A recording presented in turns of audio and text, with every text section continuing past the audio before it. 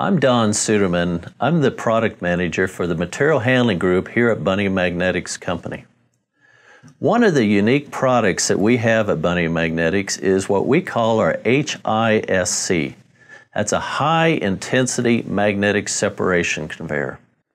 This is used in the automotive, the plastic, the medical, and the computer recycling industry to separate out some of those very difficult paramagnetic materials and 300 series stainless steel pieces that have been work hardened from shredded and ground plastics. Customers can now achieve some of the cleanest plastic flake material or other material in the industry.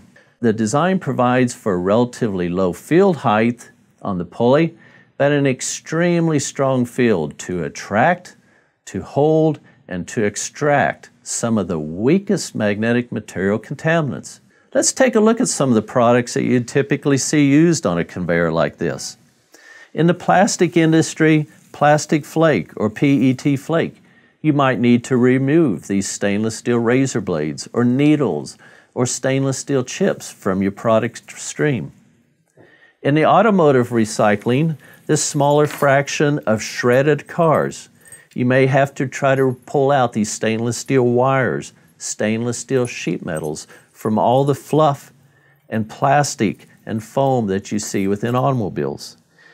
In computer recycling, you have all these tiny, teeny little stainless steel screws that hold the computers together to separate them out. The stainless steel sheet metal over hard drives. These computer chips or pieces of green board that may have a chip left on them can all be extracted with this high intensity magnetic separation conveyor. We build these units in both 4 and 6 inch diameter pulleys here at the discharge of this conveyor. The smaller the pulley, usually the higher the intensity of the magnetic field. We build these in widths from 8 inches to 60 inches wide, depending upon your application and your flow rate.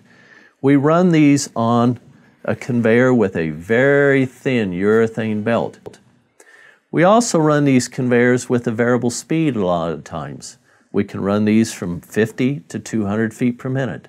Underneath the discharge pulley or this high intensity pulley, we usually put an adjustable splitter chute to partition the streams off. On these high intensity separation conveyor, the capacities usually run between 500 and 1,000 pounds per hour per foot of width of this conveyors. If you would like to see how your particular product would respond on this particular conveyor, you can send this in and our engineers can test run it and videotape it for you. That will give you an idea of what to expect from your product purification and will also help you size the unit that you need. So that was a brief overview of the Bunting High Intensity Magnetic Separation Conveyor. So if you're in the recycling business and you do plastic, automotive, computers, or medical recycling, please consider the Bunting Magnetics High Intensity Separation Conveyor to purify your products. Thank you.